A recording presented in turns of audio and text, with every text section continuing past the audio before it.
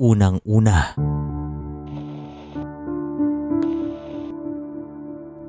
Ang ilan sa mga Pilipino ay mahilig sa mga kwentong kababalagan. At mayroon akong ikukwento.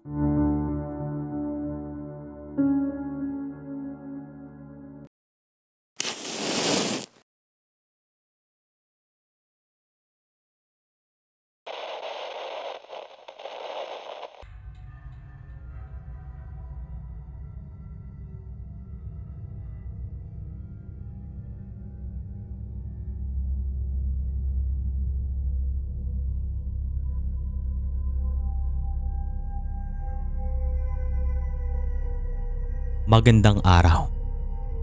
Dalawa ang aking karanasan sa kwentong ito. Ang una ay aswang at ang ikalawa ay multo. Pero hindi ito pangkaraniwan. Ito yung tinatawag nilang poltergeist. Kaya nitong sakta ng isang tao. At ito nga ang nangyari sa akin. Maraming salamat sa mga mananatili. At sisimulan ko na ang kwento. May isang pagkakataon na dumayo kami ni Lolo sa isang baryo sapagkat kapistahan doon. May isang kaibigan siya doon na dati niyang kasamaan sa trabaho. At ang baryo na ito ay nasa bundok. Sako pa ito ng aming bayan. Pero ito na ang pinakahuling baryo bago marating ang kabila. Talagang palabiro at magaling makisama ang aking lolo. Hindi na ako magtataka kung bakit marami itong kaibigan. Kung sa mabait, ay mabait po talaga ito. Pero hindi mo nga lang magugustuhan kapag kinalaban mo siya. Kasi hinding hindi ito aatras. Lalo na kapag wala siyang kasalanan. Dalawa lang kami ang dumayo sa baryo na ito. At noong nakarating kami doon, ay agad kaming sinalubong ng kanyang kaibigan Natawagin na lang nating Manggoryo. Ilang beses nang nakapunta doon si Lolo at wala naman siyang naging problema doon. Pero nang dahil kapistahan, maraming mga dayo. Iba't ibang tao ang aming nakakasalamuha. Maliban dito, kahit sino ay pwedeng kumain sa mga bahay na merong handaan. Kahit hindi mo pa kakilala ang may bahay. Ito kasi ang uso noon. Ewan ko lang kung hanggang ngayon ay mayroon pang gumagawa nito. Pagkatapos namin kumain, nag-inuman si na lolo. Ako naman ay nakaupo sa ilalim ng isang puno habang nakatingin sa mga bisita. Maya-maya lang ay mayroong pumasok na dalawang lalaki. Yung isa ay matanda na at yung isa naman ay medyo mas bata. Nakita kong tumayo si Mangorio at pinuntahan niya ang mga ito. Inisip ko na bisita lamang niya ang mga ito at parang normal naman ang sitwasyon na iyon. Magandang tanghali sa inyo. Taga saan kayo? Tanong ni Mangorio habang nakangiti. Diyan lang sa kabilang bayan maligayang kapistahan. Sagot naman ng matandang lalaki habang nakangiti. Salamat. O siya, kumain na kayo. Alam kong malayo pang inyong pinanggalingan. Kayo nang bahala dyan. Sagot naman ni Mangorio at tumango na lamang ang dalawang lalaki. Ako naman ay nakatingin lang sa dalawang ito at alam ko Binabantayan din sila ni Lolo sapagkat mga dayo ito. Mayroon akong nararamdaman pagdating sa kanila. Hindi ko alam kung bakit ito ang sinasabi ng aking sarili.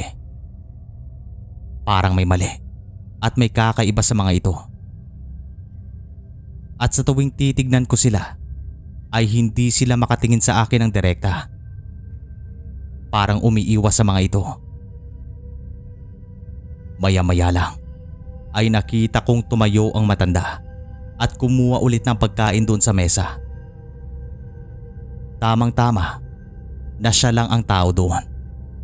O baka sinadya niya ito. Nang sa ganon ay walang makakakita sa kanyang gagawin. Pero nagkamali ito sapagkat kami ni Lolo ay talagang mapagmatsyag. Hindi nagtagal ay nakita ko itong tumingin pa ito sa kanyang paligid. At walang kung ano-ano ay dumura ito sa isang putahe. Ako naman ay agad na tumingin kay Lolo at nakita kong tumingin din ito sa akin. At noong tumingin din ako sa kasama ng matanda, ay nakita kong nakatingin na ito sa akin habang nanlilisik ang kanyang mga mata. At noong bumalik na ang matanda sa kanyang kasama, ay agad naman akong lumapit kay Lolo. Lo, nakita niyo ba yon? Tanong ko sa kanya. Oo, hintayin nating makalabas si Goryo. Sagot ni Lolo. Mabuti na lang at walang kumuha ng pagkain hanggang sa lumabas si Manggorio. Sinabi namin sa kanyang tungkol dito at nakita kong nakatingin sa amin ng masama ang dalawang lalaki. Hindi nagtagal ay pumunta si Manggorio sa mesa at agad niyang kinuha ang isang putahe na kung saan dumura ang matanda. At ang akala namin noon ay gusto lang niyang pagtripa ng ibang kumakain. Wala kaming ibang inisip na mayroong kaugnayan sa kababalagan. At noong nakalabas na si Manggorio ay mayroon na itong hawak na baril at tinutukan niyang dalawang lalaki. Pinakain ko na kayo. Pagtitripan niyo pa ang ibang tao. Lumayas kayo dito ngayon din. Pasigaw na sabi niya. Bago umalis sa mga ito, ay nag-iwan sila ng masamang titig sa amin ng aking lolo. Pero wala kaming kasalanan. Kinahapunan, habang naglalakad kami pa uwi, ay nakaramdam ako ng matinding pananakit sa aking tiyan. Ilang beses akong pumasok sa talahiban para sana magbawas. Pero kahit anong gawin ko ay walang lumalabas. Masakit lang talaga ang aking tiyan at pinagpapawisan ako. Yung mga nakakasalubong naming tao ay talagang napapatingin sa akin. Kasi ayon kay Lolo, makikita sa aking itsura na talagang nahihirapan ako. Nang makarating kami sa baryo, ay pumunta kami sa isang albularyo. At sabi niya, Nausog daw ako sa baryo na aming pinanggalingan. At walang ibang pumasok sa aking isipan kundi ang dalawang lalaking iyon. Sapagkat sila lang din naman ang tumitig sa akin ng masama. Makukuha daw ang usog sa pamamagitan ng titig, paghawak at pagbati. Parang ganon. At makalipas sa mahigit kalahating oras ay nawalang pananakit ng aking tiyan at sabi ng albularyo ay malakas daw ang usog ng taong nagbigay sa akin ito. Parang hindi daw ito pangkaraniwan. Sumapit ang gabi sa aking pagtulog ay nanaginip ako ng masama. Nakita ko ang itsura ng dalawang lalaki na nagbabanta sa akin. At sabi ng isa ay papatayin daw niya kami ng aking lolo. Nagising naman ako sa isang malakas na lagapak at narinig kong sumigaw si ate at nanay sa kabilang kwarto. Ano yon? Diyos ko, mukhang hindi normal to. Pasigaw na sabi ni nanay at hindi nagtagal ay nakaramdam ako ng kilabot. Yung aking mga balahibo ay nagsitayuan at nakaramdam ako ng mabigat.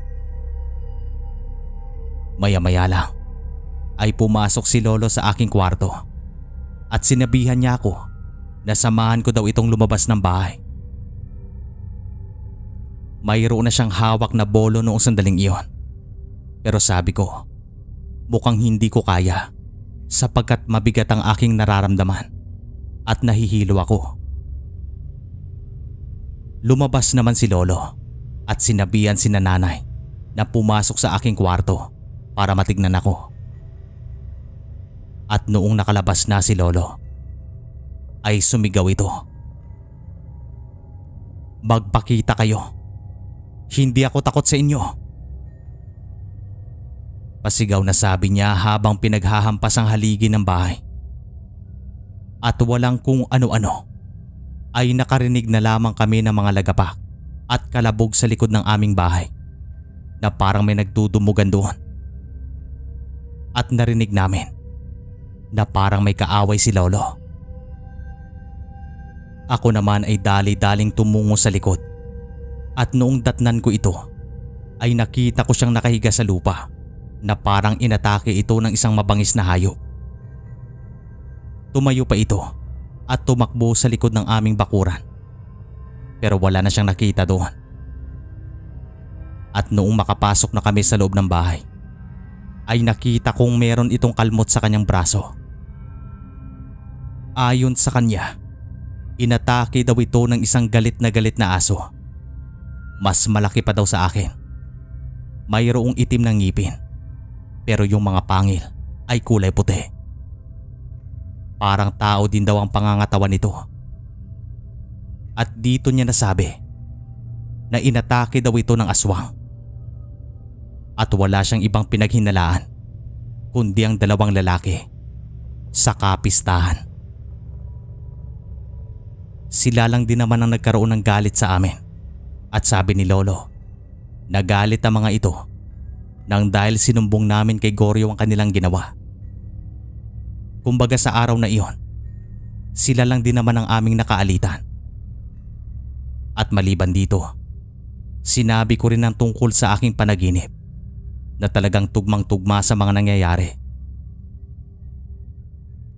Kinabukasan ay pumunta si Lolo sa bahay ni Manggorio para tanungin kung sinabi ba ng dalawang lalaki kung saan sila nakatira.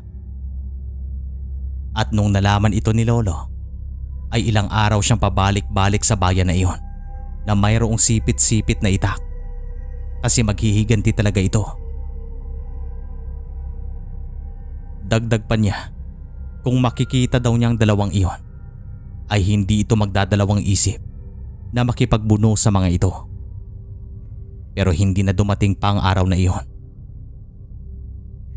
Itong susunod na karanasan ko naman ay nangyari sa dating bahay na aking inupahan noong nagtatrabaho ako sa isang syudad.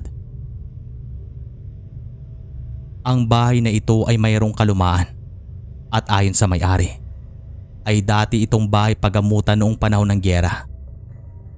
Bali ang kanyang mga magulang ay tumatanggap ng mga sugatang sundalo. Ilang tao na daw ang binawian ng buhay doon. Pero may isang multo ang nananatili.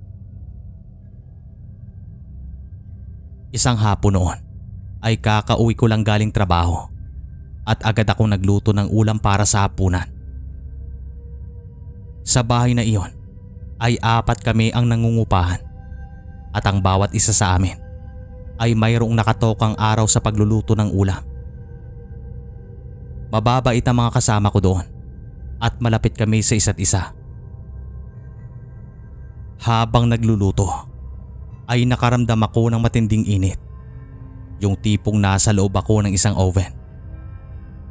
Pinagpapawisan ako kahit na mayroong pumapasok na hangin sa bintana. Noon ko lang naramdaman ng ganito kaya nagtataka talaga ako noong sandaling iyon. Napagpasyahan ko na buksan ang pintuan. Habang binubuksan ko ito ay nakarinig ako ng malakas na kalabog sa loob ng bahay. Ang lakas noon. Kaya agad akong pumasok para matignan. At noong nakapasok na ako, nagulat ako na yung mga antigong pinggan na nasa loob ng aparador ay nasa sahig na. Pero hindi naman nabasag ang mga ito. Ibinalik ko ito sa loob ng aparador at sinigurado kong nakalak ito. At noong nakabalik na ako sa kusina, ay nakarinig ulit ako ng kalabog pero mas malakas. Nagulat ako na makita ang mesa na nakataob na at yung mga upuan ay malayo na mula dito. Kinilabutan ako sapagkat hindi makakaya ng isang tao na buhatin ang mesang ito kasi gawa ito sa isang mamahalin at solidong kahoy. Nakalimutan ko lang kung anong klaseng kahoy ito. Basta mabigat. At sa tuwing ililipat namin ito ng pwesto, apat kami ang nagtutulungan. Pero mabigat pa rin. Dito na ako kinabahan at sabi ko tatapusin ko ang pagluluto at saka lalabas ako ng bahay. Dali-dali ko namang dinagdagan ng apoy nang sa ganon ay mabilis na maluto ang ulam. Pero walang kung ano-ano ay nakarinig ako ng mahinang yapak sa aking likuran. Dahilan upang mapahinto ako. Ramdam na ramdam ko noong sandaling iyon na mayroong presensya. At alam ko na mayroong nilalang sa aking likuran. Unti-unti akong nakaramdam ng hapdi sa aking batok at naging mabigat ang aking nararamdaman. At noong humakbang ako papunta sa pinto, ay parang may pumipigil sa aking mga paa. Walang kung ano-ano ay hinila ang aking mga paa dahilan upang matumba ako. Dito na ako sumigaw at dali-dali akong tumayo at tumakbo palabas na kusina sabay hila ng mahabang panggato. Nang sa ganon ay hindi masunog ang aking niluluto. Tumambay ako sa labas at noong dumating na ang isa kong kasamahan, saka ako pumasok. Kinuwento ko sa kanyang naging karanasan ko at hinintay namin ang dalawa naming kasama. At noong dumating ng mga ito, ay nagtulungan kaming buhatin ng mesa para ibalik ito sa dati niyang pwesto. Nabibigatan pa rin kaming apat. Hanggang sa napansin ng isa kong kasamahan na namumula ang aking mga batok. Tol, patingin. Sabi ng isa kong kasama at tinignan niya ang aking batok. Sino ang kumalmot sa iyo? Ang lalim. Dagdag pa niya at agad naman akong tumungo sa salamin upang tignan kung mayroon ngang kalmot ang aking bato. At totoo ngang meron. Magmula nun, naghihintayan kami sa bukana tuwing hapon. Nang sa ganon, ay sama-sama kaming uuwi sa bahay paupahan. Hindi lang naman ako ang nakaranas ng mga kababalagan doon. Pati na ang mga kasamaan kong ito. Mayroon din silang kanya-kanyang karanasan. Ayon naman sa may-ari, noong tumitira daw sila sa bahay na yon, ay mayroon din silang mga naging karanasan. Ilang beses na rin silang nagpatawag ng albularyo. Nang sa ganon, ay mapalayas ang multong ito. At aming nalaman na hindi ito pangkaraniwan ito yung tinatawag nilang poltergeist. May kakayahan daw itong magpagalaw ng mga bagay-bagay at kaya daw nitong makapanakit ng buhay. Pero kahit anong gawin daw ng may-ari ay hindi pa rin ito lumalaya sa bahay na yon. Maraming salamat po sa binigay niyong kaunting oras. Hanggang sa muli. Mag-ingat po kayo palagi.